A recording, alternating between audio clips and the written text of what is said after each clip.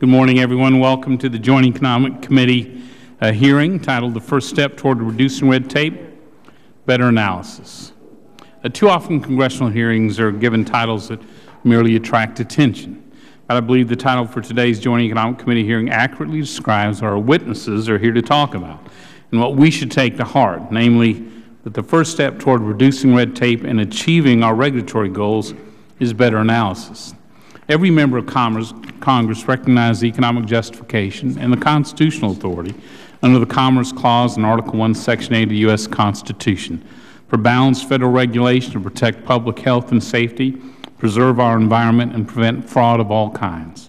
At the same time, many members of Congress also recognize that Federal regulation has become overly burdensome and costly to job creators and the economy alike. Some regulations, regrettably, are even counterproductive. As the volume of Federal regulation has grown, regulation has done less to advance its stated goals and imposed ever more costs. These costs include, include slower economic growth, higher uncertainty that inhibits business investment and job creation, foregone product and process innovation, a lessening in the international competitiveness of American businesses, and stagnant incomes for hardworking American families.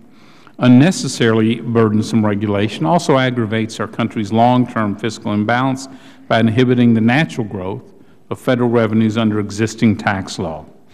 Consider the following facts. In 2013, the Federal Government issued 3,659 final rules contained on 26,417 pages, a record number in the Federal Register. Including proposed rule, the Federal Register finished last year with 70, over 79,000 pages.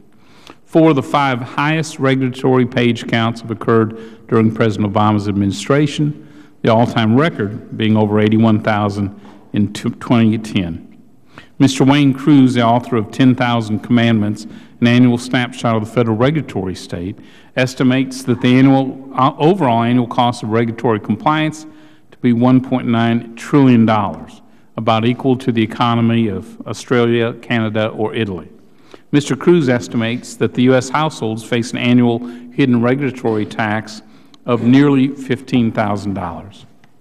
In last year's draft report to Congress on the benefits and the costs of Federal regulation, the Office of Management and Budget stated that executive agencies and independent regulatory agencies promulgated a combined total of 68 major rules during 2012 each of which, as you know, have an impact of $100 million or more.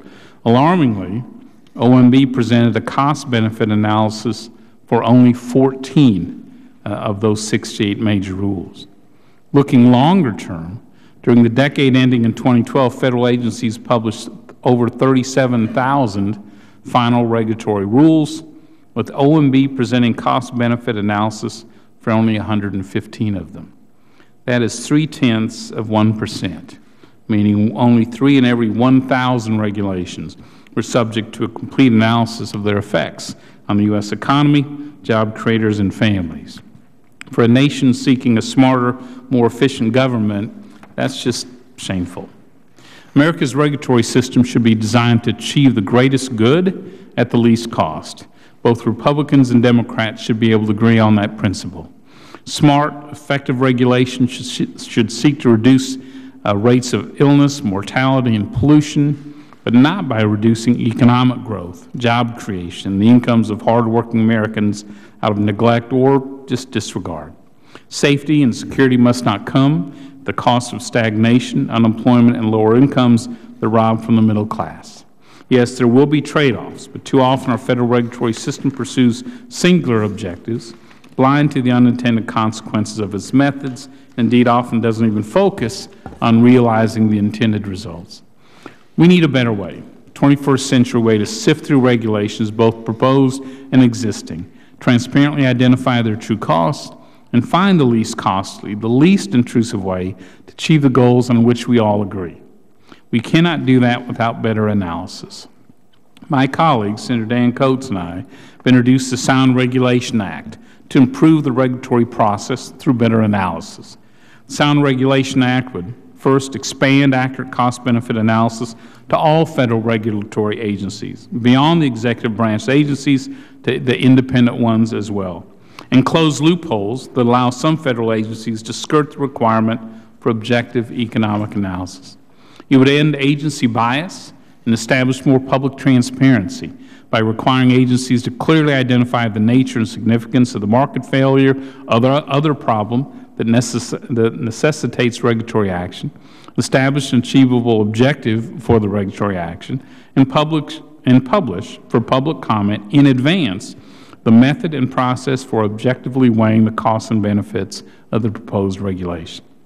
It would encourage more innovative solutions by requiring the development and evaluation of the costs and benefits of at least three regulatory options ranked by cost from lowest to highest, and justify the, require justifying the choice of any option that is not the least cost uh, method of achieving the objective. Finally, it would uh, require reviewing existing regulations on a timely basis to determine the success and cost of the regulation in the real world.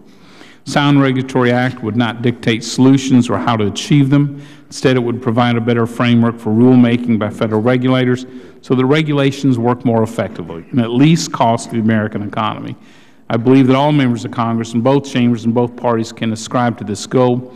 We have many ideas on how best to move forward on smart regulations. Senator Coats and I have one. There are others. That's the, the topic of the discussion today, and with that, I look forward to the testimony of today's witness.